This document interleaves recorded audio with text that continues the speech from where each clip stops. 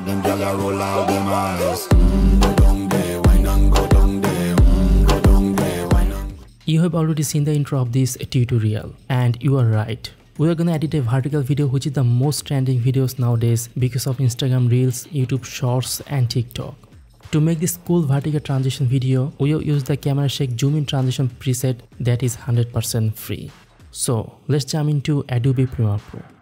Now we are inside Adobe Premiere Pro and the first thing we are gonna do is create a sequence. To do this, go to the top menu and click on File, then select New and finally choose Sequence. Alternatively, you can use the shortcut Ctrl plus N. In the pop-up window, expand the digital SLR and select 1080 30 frames or 25 frames depending on your preference. Next, move to the Sequence tab. Now it's time to change the video frame size. For Instagram Reels, Adjust the horizontal frame size from 9020 to 1080 and vertical frame size from 1080 to 9020. You can also give your sequence a name. In my case, I'll call it zoom in. Finally, confirm all the settings by clicking OK. The first step is complete and our sequence is ready. Now let's place the background audio on the first audio track. We need to view the entire timeline, so hit the backslash key on the keyboard.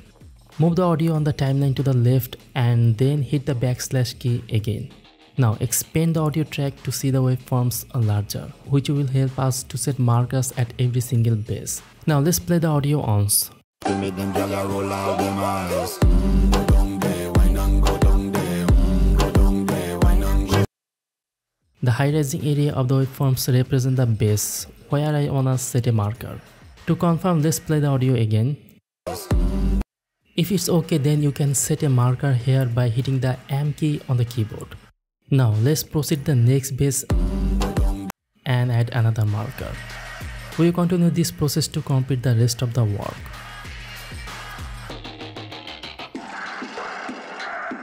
Let's move on to the next step which involves streaming and resizing the image. First, drag a picture from the project panel onto the timeline and place it following the first audio marker. By default, the duration of the image is 5 seconds, but to apply our camera shake zoom in transition preset, we need to adjust this duration to match the second audio marker. You might have noticed that the size of the picture is larger than our vertical program monitor. To resize it, double click on the pictures to enable scaling. You can easily adjust its size here or visit effect controls, which also allows you to adjust the scale and position of the image. Next, right click on the picture and choose Nest. You can name the nested sequence and hit OK. Now, why do we nest this picture? We do this because we are resizing the pictures through effect controls. Without nesting, our preset transition may not work perfectly most of the time. Let me show you an example. Now I'm gonna show you another way to resize the image to match our sequence resolution. Take another image from the project panel and drag it onto the timeline. Hit the C key to enable the razor tool and make a cut following the marker. Then press the V key to switch back to the selection tool and delete the extra part of the image. Now if I move the time indicator, you see our second picture which is also larger than our sequence resolution. To resize this image, we will use Photoshop. Right click on the image then select Edit in Photoshop. This will open the image in Photoshop. Now that we are inside Adobe Photoshop and you see the actual size of our second image. To resize it, select the crop tool and adjust the crop using the mouse. Alternatively, you can go to the top and ensure that width and height resolution are selected.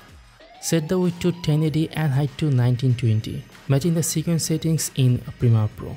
Position the image within the crop, then right click on it and select crop or simply double click on the image.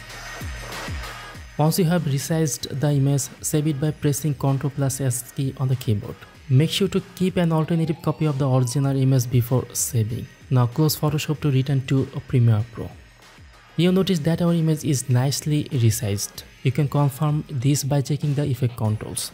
Now we'll proceed to place the rest of the pictures on the timeline, which have already been resized in Photoshop.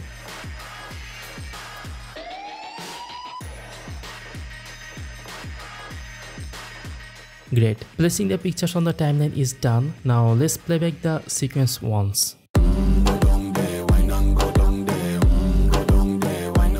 Let's move on to the final step, which is applying the transition preset.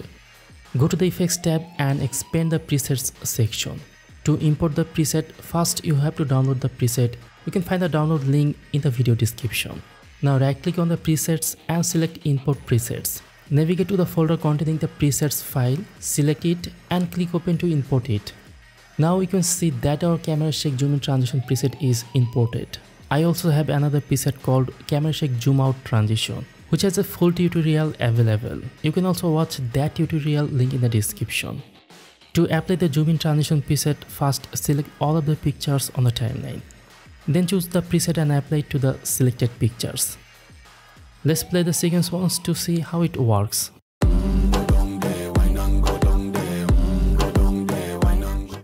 Wow, that's great, it's working very well. Now to fill the empty area, we can apply some additional footage. Let's go to the project and double click on the video to open it in the source monitor. You can set in and out points and drag it to the timeline.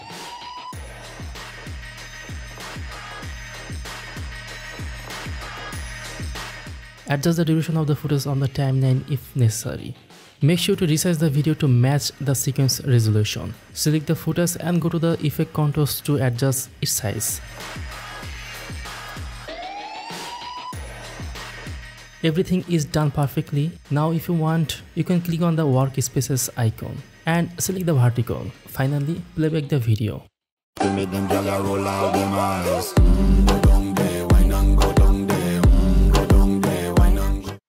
That's all for today's Premiere Pro tutorial. I hope you enjoyed this video. See you in the next one.